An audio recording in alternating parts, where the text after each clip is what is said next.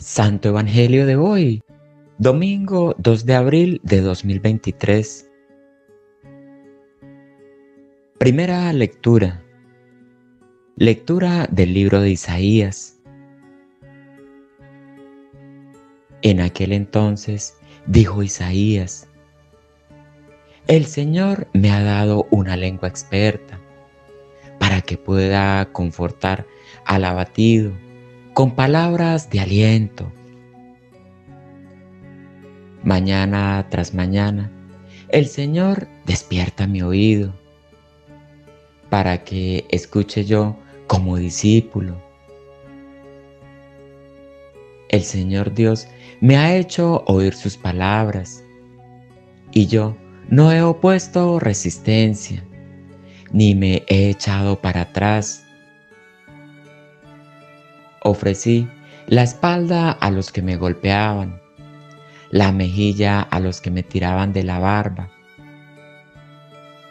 No aparté mi rostro de los insultos y salivazos. Pero el Señor me ayuda. Por eso no quedaré confundido. Por eso endurecí mi rostro como roca. Y sé que no quedaré avergonzado. Palabra de Dios.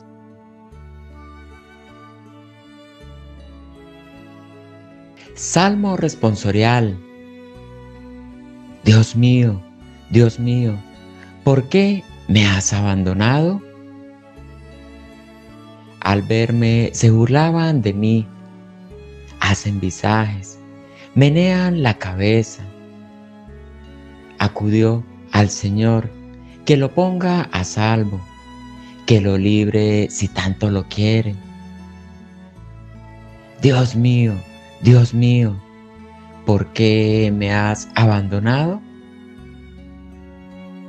Me acorrala una jauría de mastines, me cerca una banda de malhechores, me taladran las manos y los pies, puedo contar mis huesos.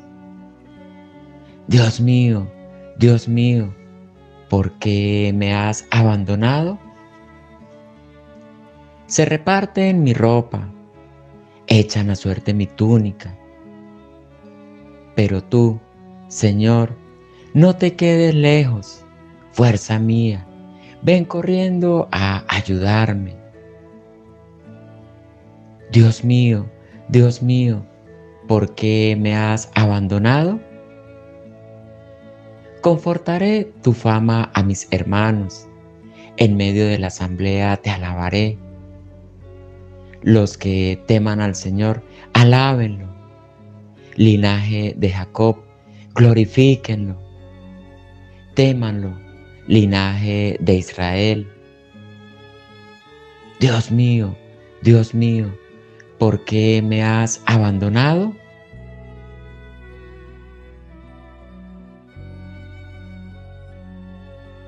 Segunda lectura. Lectura de la carta del apóstol San Pablo a los filipenses.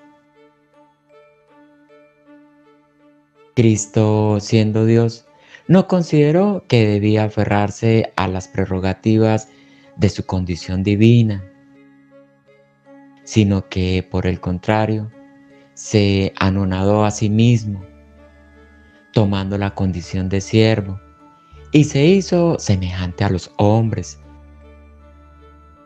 Así, hecho uno de ellos, se humilló a sí mismo, y por obediencia aceptó incluso la muerte, y una muerte de cruz. Por eso lo exaltó sobre todas las cosas y le otorgó el nombre que está sobre todo nombre, para que al nombre de Jesús todos doblen la rodilla en el cielo, en la tierra y en los abismos, y todos reconozcan públicamente que Jesucristo es el Señor, para gloria de Dios Padre. Palabra de Dios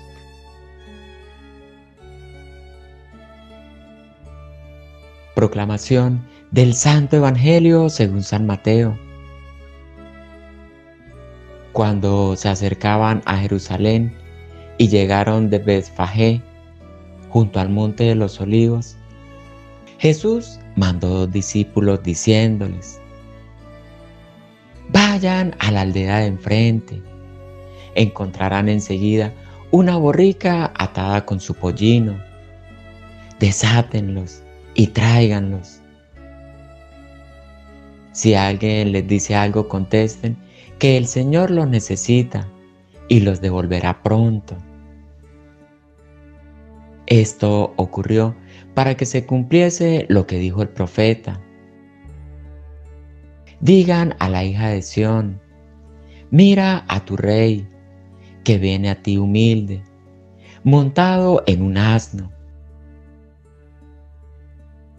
Fueron los discípulos e hicieron lo que les había mandado Jesús. Trajeron la borrica y el pollino echaron encima sus mantos y Jesús se montó. La multitud extendió sus mantos por el camino.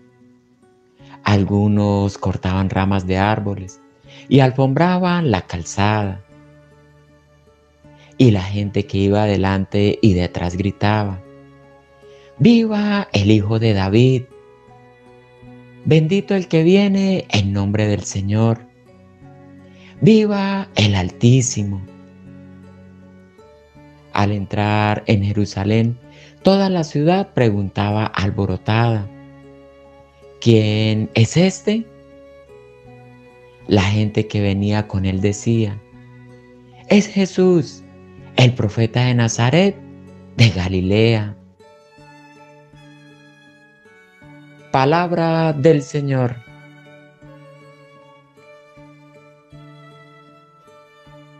Cuando se acercaban a Jerusalén, Jesús sabía que los líderes religiosos iban a arrestarlo, condenarlo, ridiculizarlo, azotarlo y entregarlo a los romanos para ser crucificado.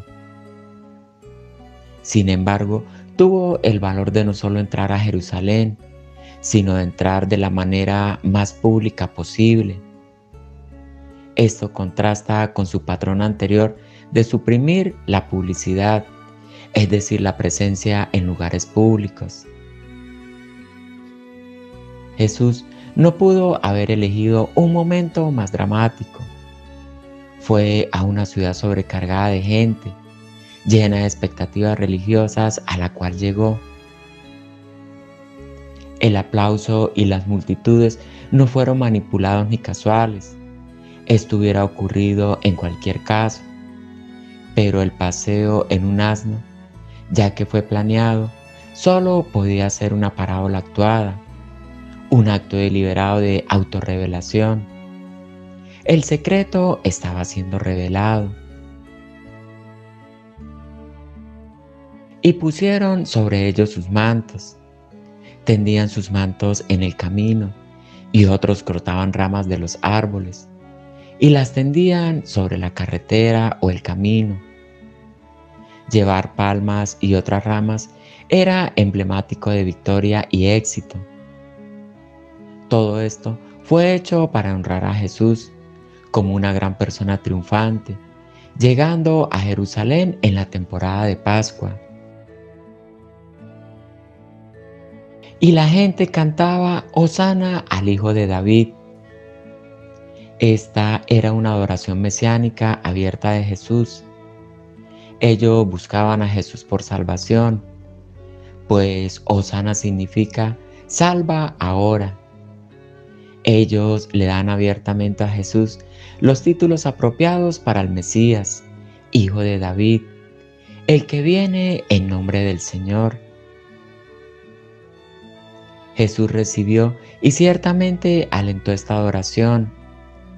De nuevo, esto fue porque este es el día que hizo Dios, el día en el que el Mesías llegó como Salvador a Jerusalén, en cumplimiento de la profecía de Daniel. Osana es la expresión hebrea que originalmente era un grito de ayuda.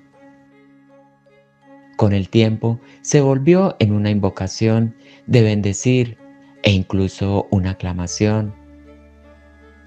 El pueblo adora a Dios en las alturas por enviar al Mesías.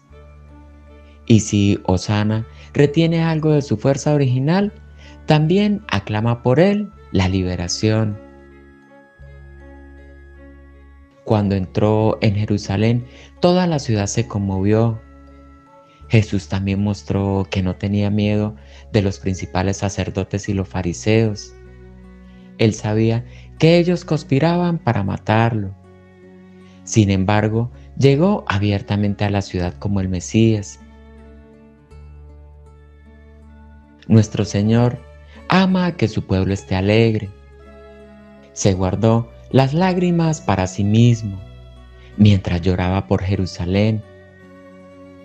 Pero la alegría la esparció por todo su alrededor, de modo que incluso los niños y las niñas en las calles de Jerusalén hicieran que los patios del templo resonaran con sus pies felices y cantos jubilosos. Todo esto contrasta la felicidad de la llegada a Jerusalén, esa entrada triunfal en este domingo de ramos, la alegría de la gente, sus cánticos y alabanzas, con la preocupación de Jesús al saber que iba a ser arrestado por las autoridades del pueblo para darle muerte en una cruz. Queridos hermanos, Gracias a todos por su compañía en este Santo Evangelio de hoy. Si aún no perteneces a nuestra comunidad, te invitamos a suscribirte a este canal. Bendícenos con un like y con un comentario a este video. No olvides activar también la campanita de notificaciones y compartir este video con tus familiares y amigos que necesiten de una ayuda espiritual. Nos despedimos como todos los días con la bendición de Dios Padre. En el nombre del Padre, del Hijo y del Espíritu Santo. Amén.